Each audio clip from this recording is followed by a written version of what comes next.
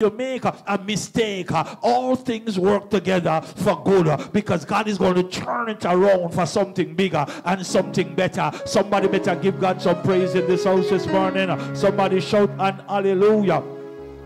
There are some things that I wanted to do in my yard long before Beryl come, but I was just ignoring them. Amen. Hallelujah. And these are things that are very vital to my construction, things that need to be done, but I was ignoring them. But the moment Beryl was coming, hallelujah, I was able to put these things in place. And when everything done, me can say, thank God for Beryl. Ah, because I, I get the things done. Come on now, somebody, hallelujah. Sometimes we need a little push. Sometimes we need a little challenge in life uh, to get things better. Come on now, somebody, hallelujah. If we are not pushed, uh, sometimes we don't know how to propel ourselves in our wealthy place uh, or to get to our destination. You got to understand uh, that I love uh, the, the, the, message that I did many years ago about the eagle because when storm is coming, every other bird run go hide. But when storm is coming, the eagle is happy, the eagle is ready. The eagle can't wait for the storm to come because the eagle is the only bird that soars. Every other bird flies Uh,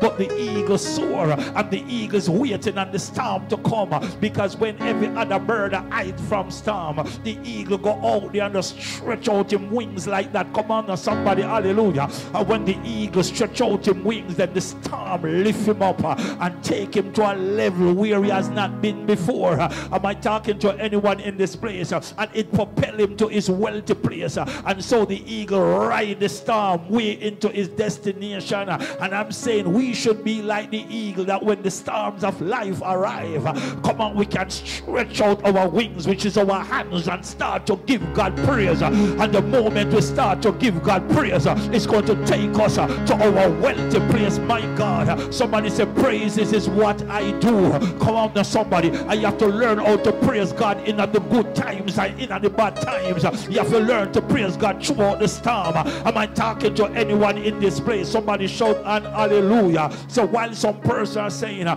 Beryl was destructive, yes, it was destructive. Uh, but on the other end, come on now, somebody, anything that come uh, to destroy your life is not really to destroy you. It's only to make you better. It's only to take it to another level. Am I talking to anyone in this? Come on, somebody, give God praise if you understand what I'm saying now. The steps of a good man is ordered by God. What the enemy meant for bad, God is going to turn it around for your good this morning morning, come on, somebody. It was their intention to kill Joseph, but it was God's intention to rise him up to be a prime minister, to feed the whole entire nation. Am I talking to anybody right now? And this is why when they throw you in a pit, don't worry yourself. God is have somebody there to lift you out of that pit because purpose cannot die until purpose meets destiny.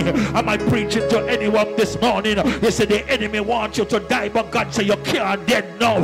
Oh God Almighty, why you can't dead now? Because I've got a plan for you. I know the plans I have for you. Thus saith the Lord. Plans to prosper you. Oh God, not to harm you.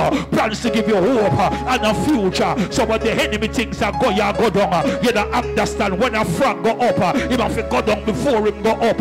And I come to tell someone this morning, every setback is a setup for a comeback. Lord God Almighty, they think you're done, you're not done. You just a come. They ain't seen nothing yet.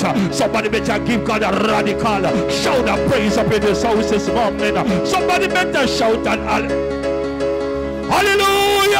My God Almighty, come on now somebody. I want to tell somebody this morning, your best years are not behind you. Your best years are ahead of you. Come on now somebody, hallelujah. You think you live life yet, you don't live no life yet, man. Hold on a little bit, man. What God have in store for you, you don't even see the tip it yet. Somebody shout and hallelujah. I tell people my future is so bright. I need something dark to look on it. All the night time here we are dark glass wire. Because the future will shine at night time too. Somebody shout an hallelujah. My God Almighty. They said them not sit on the yet. Somebody touch neighbor and say, neighbor, you don't sit on the yet.